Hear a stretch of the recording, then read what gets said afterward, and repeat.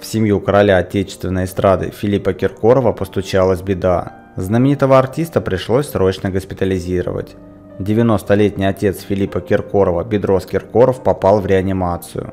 По имеющимся данным, артиста госпитализировали в одну из московских клиник. Ему сделали анализ на коронавирус. Результат отрицательный, пишет телеграм-канал Мэш. Примечательно, что в конце октября отец певца уже попадал в больницу.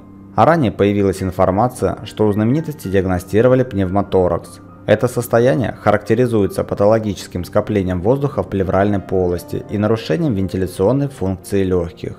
Исполнителю вызвали скорую домой, после чего было принято решение отправить его в стационар. Ранее стало известно, что Бедрос Киркоров перенес серьезнейшую операцию.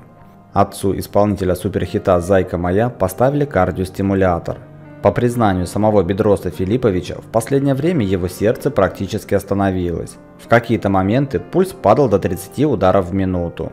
Еще чуть-чуть и престарелый артист мог бы умереть. К счастью, медики выполнили свою работу очень профессионально, и опасность миновала. Весной Киркоров-старший попадал в реанимацию из-за проблем с сердцем. У артиста была диагностирована хроническая сердечная недостаточность. Его направили на лечение в Третий Центральный военный клинический госпиталь имени Вишневского. Сегодня информацию о госпитализации подтвердила и пресс-секретарь Филиппа Киркорова. По ее словам, Бедрос хорошо себя чувствует и готовится к будущим гастролям.